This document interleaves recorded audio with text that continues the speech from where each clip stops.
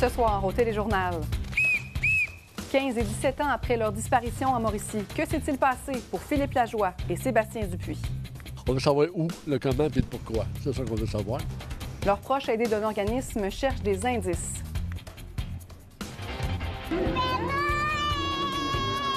Des organismes de la région ont remis des cadeaux aujourd'hui à des enfants qui passeront un Noël plus doux. Moi, moi c'est une des plus belles choses.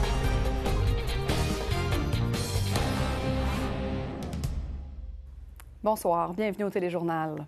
Des bénévoles et des membres de la famille de deux jeunes hommes disparus se sont mobilisés aujourd'hui à Saint-Paulin dans l'espoir de trouver des indices de ce qui a pu arriver à leurs proches. Philippe Lajoie et Sébastien Dupuis n'ont pas été revus depuis 15 et 17 ans, respectivement, dans des circonstances qui demeurent à ce jour difficiles à comprendre. Cathy Cloutier a rencontré leurs proches.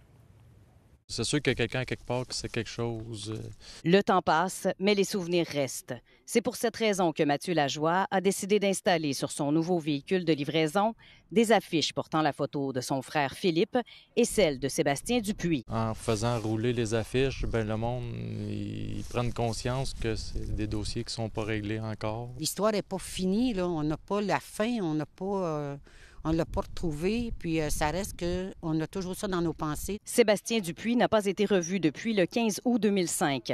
Il avait à cette époque 24 ans. Il est parti en vélo avec un ami pendant la nuit et n'est jamais revenu. Quant à Philippe Lajoie, lui, il est disparu mystérieusement le 14 février 2007. Il avait 23 ans. Il était parti s'occuper de ses porcs dans une ferme à Yamachiche.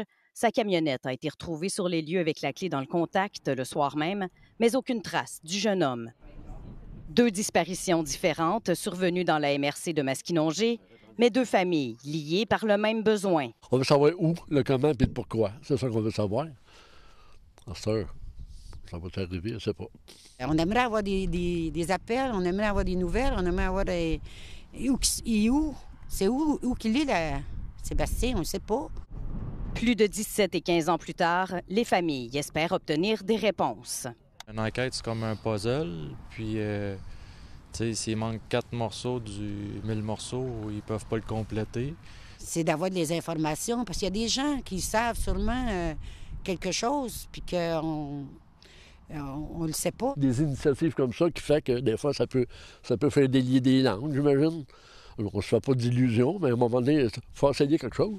Les fiches de Philippe Lajoie et de Sébastien Dupuis, tout comme celles de dizaines de personnes manquantes, peuvent être consultées sur le site Internet de la Sûreté du Québec. Et l'organisme Meurtre et disparition irrésolue du Québec accompagne également les familles dans leur démarche. Mon Dieu, ça peut être un détail aussi banal que quelque chose que, que, que Philippe ou Sébastien auraient pu dire dans les, euh, les- les semaines avant. S'il vous plaît, parlez. C'est écrit gros sur les affiches. S'il vous plaît, parlez. C'est important. Les, les familles attendent ça. Pour espérer un jour atténuer un peu la douleur de ceux qui attendent. Ah, c'est sûr, ça brasse. Ça va toujours brasser. On a un début d'histoire, mais on n'a pas la fin. là. Puis on va comment faire un deuil dans ce, dans ce cas-là. Après toutes ces années, les deux familles espèrent obtenir finalement cet indice qui permettra d'élucider le mystère. Ici Cathy Cloutier, Radio-Canada, Saint-Paulin.